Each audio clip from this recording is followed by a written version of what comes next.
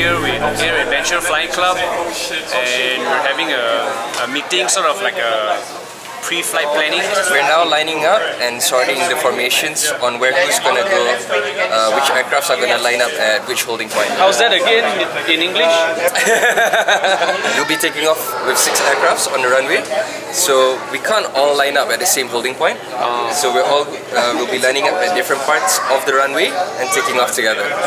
Okay. Yeah. It's off to the airfield. We're going off to the airfield to meet the planes. Okay, so now it's just me and another pilot at the hangar. This is how they identify one plane from the next. Their call sign. This guy here is called TFC, Tango Foxtrot Charlie. I'm here with Andreas, and Andreas, he's the owner of Air Adventure Flying Club. Tell us about what we're going to do later. We're going to take three aircrafts and we're going to fly in formation to Sungai Rambai. That's good. So we join all the way downwind, and we break formation. I go foilers first. Please, sorry. go for break and I'll be on my I know there's this thing called a touch and go. That's going over, having a coffee and come back, right? No, the touch and go is just really touching and going straight away. But what we want to do is we want to stop and have a coffee, and that is known in America as a $100 hamburger. So we're going to take off together, right? So there's Right. three planes heading off all at once. That's right. So we're going to have one plane, the one you see behind on the left side, and on the right side, uh, the other aircraft, yeah, we put throttle on and take off same time. Okay. We're going to take off from here, WMSA, that stands for Subang, WM West Malaysia SA, Subang Airport. Ah, that's what it stands for. Very easy. West Malaysia Subang Airport. So WMSA, and we're going to fly, we're going to see Kachang. Now, Kachang That's Kajang, yeah? is Kachang, right? Oh, yeah, we're going to see the horse racing track on our right. okay. And then we see the mines resort and the lake. Then we continue. We're to go, before we get to Surama, there's one little hill here, and that's very close to KLIA. So we're to have complaints from the traffic controller because if the weather's not good enough to climb over it, they're to make noise because we have to climb too high. So expect some complaints from them. After Seremban, our next waypoint would be Tampin. We're to have Tampin on our left, about seven, eight miles, because Tampin is known to be the windiest city in Malaysia and we don't want to have too much wind. We think of passenger comfort. Ladies and gentlemen, the captain has put your seatbelt sign on, and you may be free to roam around in the cabin. Then we're going to track all the way down to Tangkak. Tangkak, we make a right turn to mm-hmm. Sungai Rambai. And it's not going to be easy to find. Okay, uh, Michelle was an airfield at your Mentry Bazaar is going to be there. A lot of people are going to be there, and we're going to fly in with all the aircrafts and um, land. Well, it only took a few short hours and we're already in Sungai Rambai Aerodrome.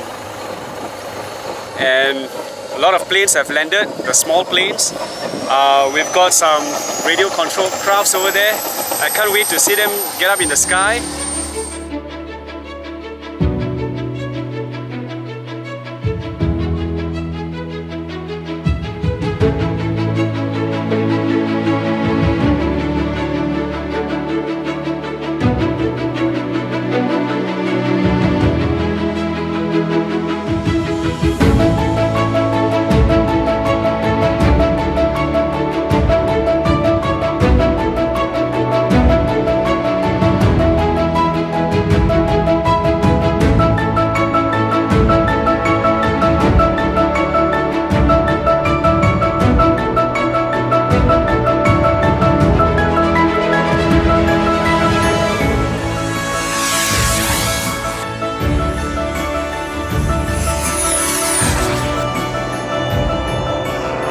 I know fuel, you call it endurance. Can you explain Right. about that? So when we talk to the traffic controller and they want to know how long our endurance is, how long can we fly before we run out of fuel? Sungai Rambai is short airfield. We're going to have four people per plane, so we don't want to fill up the aircraft with full fuel because we're going to be too heavy. We're going to take too long of a runway. So what we're going to do is we, we fill it up three quarter, we burn at least one hour, one and a half hour to Sungai Rambai, and uh, do some refueling in Sungai Rambai. I see. Just to a level Right. that allows us to have a safe takeoff with four people again, short runway, and come back to Subang. Right, refueling. Field refuel. And we're going to take the inland road. Weather is starting to come in. We may get wet. You use the term um, P- POB. POB, that means persons on board. November Charlie Uniform 4 POBs, 2 hours 3 7 minutes endurance. Number 3, November Tango Fox Charlie, 3 POBs, 3 hours endurance. Number 4, 0 So they always want to know how many people they are really on board. Uh-huh. So essentials are your endurance and POB. will be broadcasted to the traffic controller.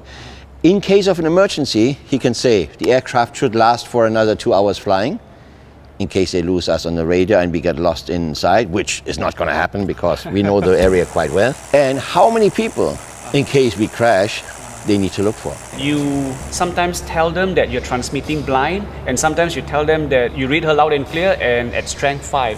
Malacca Tower, Malacca Tower, adventure formation, transmitting blind. So when we communicate, it's a VHF communication and it goes line of sight. We fly behind a mountain.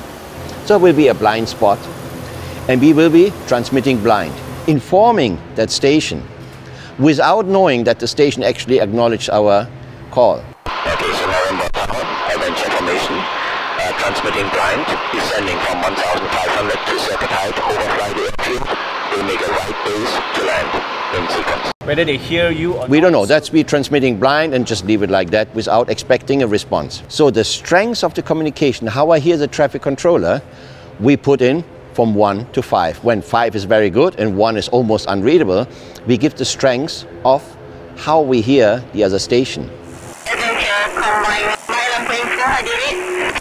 I'm reading you strength 5. Um, tell us more about flying around and above hills and mountains. Well, it really depends what you want to do. You can fly over a hill if A, the hill is not very high, but in our case, we have some hills at 7,000 feet. So we must look at the performance of the aircraft. Can this aircraft actually, with four people, climb to 7,000 in time to cross the range? And we may have a situation where the top of the clouds or the valleys we go into the clouds are covered with clouds. Now, it would be a silly idea to fly up a valley where we can't see the end of the valley. And the end of the valley is in clouds. So we would, It's asking for trouble. we're asking for trouble, yeah.